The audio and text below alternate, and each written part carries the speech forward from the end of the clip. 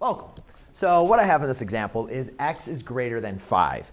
And what I want to do is show you how to um, graph this. So the main important thing is, you know, we need to understand, first of all, we have a number line. And the number line is just going to be set of all of our whole numbers.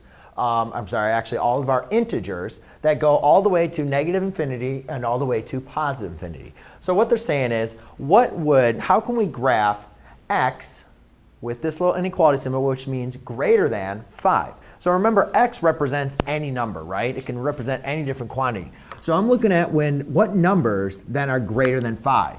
So this is what we call the greater than symbol. And what it just means is all numbers greater than. So you just think, you know, what numbers, when we look on this number line, what numbers are greater than 5?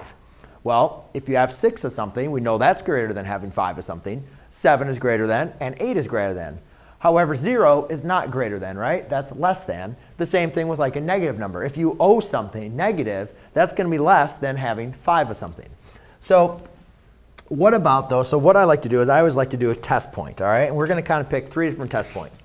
So the first thing is I can pick 1 greater than 5. Let's pretend x equals 1. Well, is 1 greater than 5? That's false, right? How about the number 5?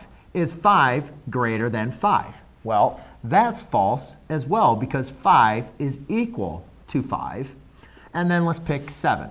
Is 7 greater than 5? And that ends up being true. So what we have is when we have a false statement and then a false statement at the point, but then a true statement. So since it's false at 5, uh, we're still going to start at 5, but what we're going to have is what we'll call an open circle. Because at the point 5, that is not a part of our answer, right? 5 is not make, does not make this true. However, all the numbers to the right going on to infinity do make this problem true. So therefore, we will graph with a line that's going to go to infinity for all numbers in that direction are always going to be greater than 5. So there you go. Hope you enjoyed. Thanks.